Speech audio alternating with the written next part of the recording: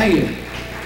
We're gonna do a we're gonna do a real quick here. Another song that that Tony wrote, our guitar player, that we sing together. Babble finger.